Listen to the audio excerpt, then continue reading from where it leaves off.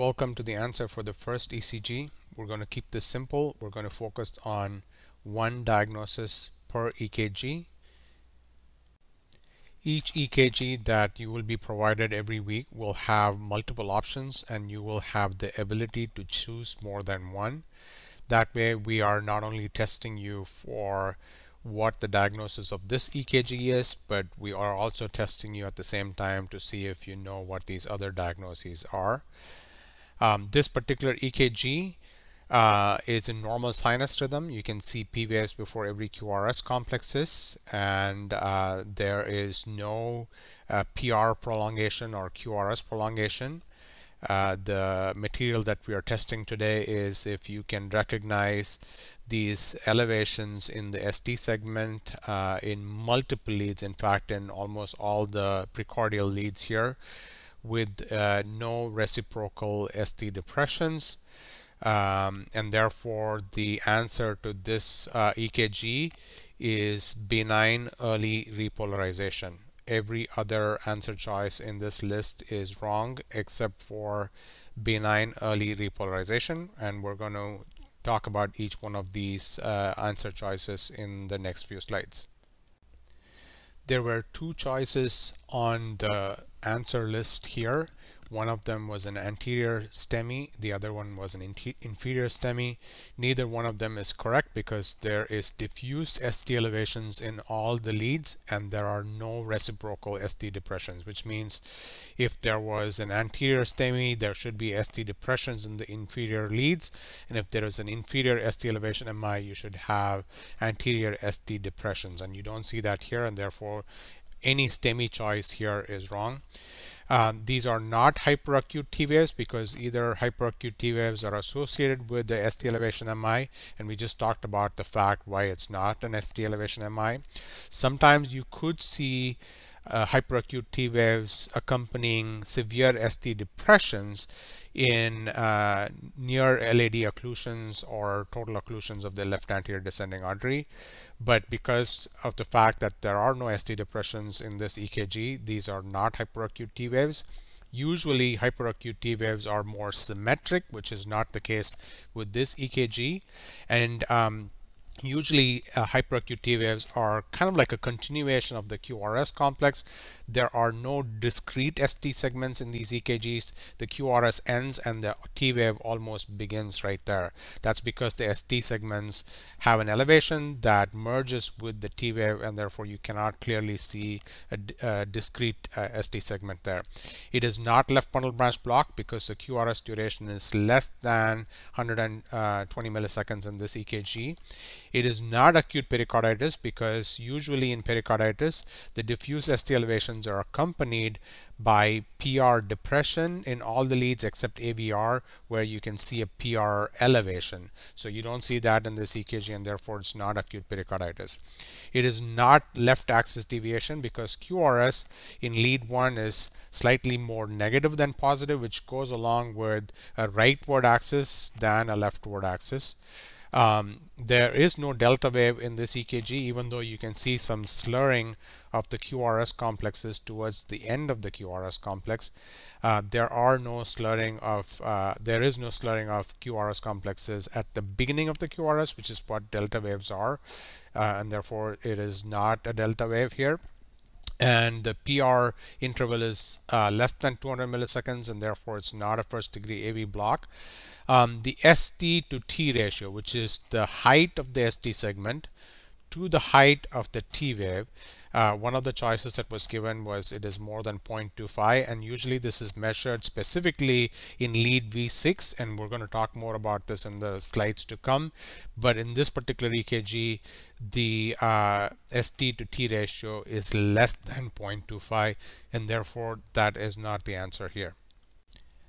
This EKG shows benign early repolarization because there is an elevation of the J point, which is basically the end of the QRS complex. And I'll show you more examples of the J point in the slides to come. The T wave is peaked and slightly asymmetrical, which is unlike hyperacute T waves, which are more symmetrical. The ST segment and the ascending limb of the T wave form an upward concavity and I am going to show you uh, what that means in the next few slides. And finally, the descending limb of the T wave is straighter and slightly steeper than the ascending limb, which is what makes it asymmetric. This slide shows you the concavity upwards of the ST segments in early repolarization. Uh, this point here is called the J point of the QRS complex and uh, you can see that the J point is elevated compared to the PR uh, segment here. Um, the uh, ST segments in hyperacute T waves go straight like that instead of having this small concavity here. Now, if you look at another lead, this is probably V4 or V6, um, you can see the J point like a small fish hook right here at the end of the QRS complex. And here you can see the concavity nicely uh, like a smiley face um, on the EKG. In a hyperacute T wave, the J point will continue like that into a T wave and not have this concavity. This slide is to show you another characteristic feature of J-point elevation, which is uh, J-point notching, which is the slurring of the QRS complex towards the end of the QRS complex like you see here. In this uh, particular EKG, you see a very prominent uh, J-point notching like a fishhook pattern, but it could be anything uh, so discrete to something that is so subtle like what you see here like a small uh, slurring of the QRS complex towards the end uh, that you can see here in V4, V5, V6. Uh, these are usually seen in the lateral leads somewhere between V4 and V6 generally. This slide shows you the three differential diagnoses for benign early repolarization. All of these are based on tall T waves but there is a subtle difference between all these tall T waves. For example, the peaked T wave in hyperkalemia, which is uh, this one here, the T wave is extremely tall um, and is super sharp at the tip. Uh, which is not the case with these other two, which is hyperacute T waves and benign early repolarization. In addition, the ST segment is not elevated in hyperkalemia for the most part, whereas in benign early repolarization and hyperacute T waves, your ST segments are elevated. Between benign early repolarization and hyperacute T wave, as I showed you before, there is this smiley face like concavity in the ST segment of benign early repolarization, which is not there in hyperacute T waves, where it rises uh, straight from the QRS complex and comes down, and therefore there is some asymmetry in the T wave of benign early repolarization compared to the more symmetrical uh, T waves of hyperacute T waves. This slide shows you the difference between benign early repolarization and pericarditis, which is another differential diagnosis for benign early repolarization. But in this case, it is not because of tall T waves, it is because of ST elevations uh, that are diffused throughout all the leads. The difference between pericarditis and benign early repolarization can be seen with this thing called ST by T wave ratio, where you measure the, the height of the ST segment and uh, you uh, divide the T wave, uh, you divide that by the height of the T wave from the baseline.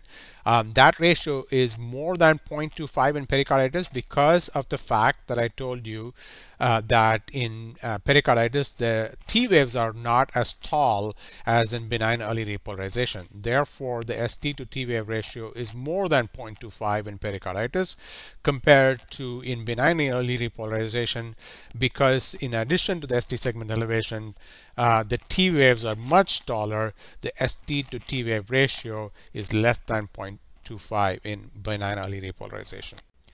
Here is a very quick summary of the differences between benign early repolarization and pericarditis.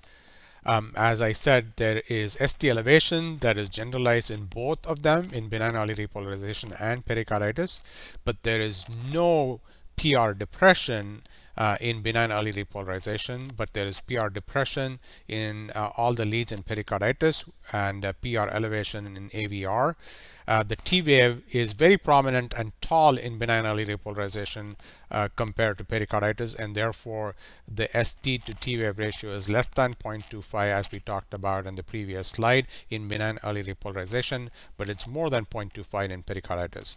And finally the fish hook appearance which is the J point notching is there in benign early repolarization but not in pericarditis. This slide is to highlight the fact that even though we have been using the term benign early repolarization for all these uh, changes that we had discussed before, well, early repolarization may not be that benign uh, after all. There are many new papers that are coming out that shows that at least some patients with this benign early repolarization like EKGs have a higher risk of sudden cardiac death and therefore uh, this new term called early repolarization syndrome has been coined recently.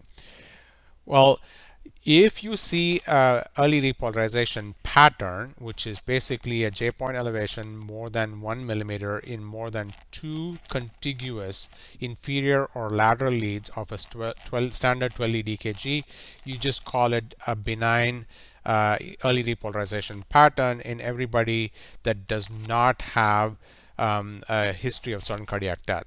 Now, if you see the same thing in a patient who has been resuscitated uh, from a sudden cardiac arrest or they died and you see this on an EKG that was done pre-mortem um, then you call uh, that uh, early repolarization syndrome. Uh, people are trying to figure out how uh, the EKG is slightly different in patients who actually have a sudden cardiac death versus those who don't. At this point in time, we do not have any clear indication of what those differences are. This uh, final slide is to show you other conditions that have abnormalities of the J point or the J wave in uh, a 12 lead EKG. Uh, you have seen all of them, but you may not have related uh, all of these together um, because of these uh, issues with the J points. So I'm just uh, highlighting that uh, when you think about J point in in an EKG in a 12 lead EKG, you have to think about all the abnormalities together so you can kind of put them in the same box in your brain.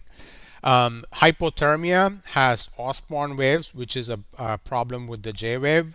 Uh, so you can see here, this is the J point abnormality uh, in a hypothermic patient that we call as Osborn waves. Now, Osborn waves are also a term that they use to uh, denote J point uh, issues in hypercalcemic patients. Now in Brugada syndrome patient, that J point is usually uh, termed like a RSR dash pattern, like they call it like a right bundle branch block pattern with uh, ST elevation. Uh, but that second uh, blip that you're seeing, the R dash, is somewhat like a J point uh, in these patients. Um, early repolarization syndrome is the one that we talked about. Uh, short QT syndrome are patients that have a very short QT. In those patients, the T waves are much taller, the QT is short, and then you will also see a J point uh, slurring in those patients. And finally, uh, ARVC, arrhythmogenic right ventricular cardiomyopathy, can also have a J point uh, abnormality, which is then called the epsilon wave, which is a small uh, blip at the end of the QRS complex uh, uh, in these patients that have uh, ARVC. Thank you for your attention. We'll see you next week with a new ECG.